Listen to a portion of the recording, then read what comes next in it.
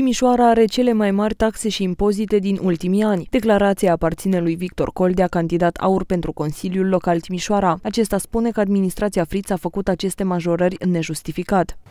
Timp de patru ani de zile am asistat la modalitatea defectuoasă în care actuala administrație a dovedit faptul că este incompatibilă cu guvernarea la nivel local.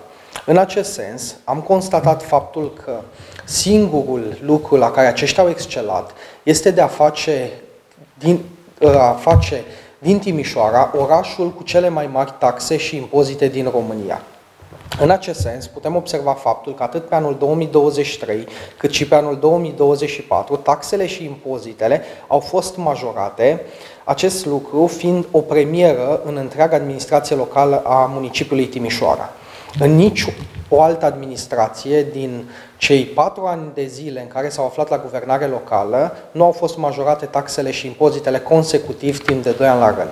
Victor Coldea spune că taxele și impozitele au fost majorate pentru a aduce venituri la bugetul local. Aur vine cu soluții la problema semnalată. În primul rând, ar fi necesar ca să fie reduse taxele și impozitele pentru persoanele fizice și juridice care sunt datorate la bugetul local, pentru, ace- pentru că acest lucru ar stimula investițiile pe plan local și automat aducerea de taxe și de impozite la bugetul local pe motiv că majoritatea persoanelor juridice ocolesc municipiul Timișoara și preferă, preferă fie una dintre localitățile din apropiere, fie din alt județ, unde taxele sunt rezonabile.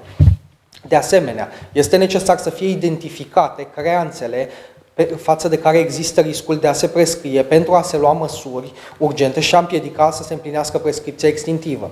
De asemenea, ar fi necesar să fie înlăturate persoanele care nu corespund din punct de vedere profesional și în locul acestora să fie aduse persoane care să își desfășoare activitatea în materia recuperării creanțelor.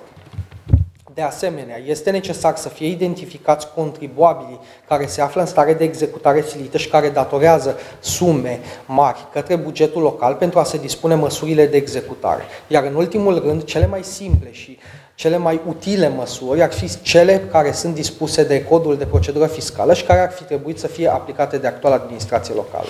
Victor Coldea susține că Timișoara este orașul din România cu cele mai mari taxe și impozite.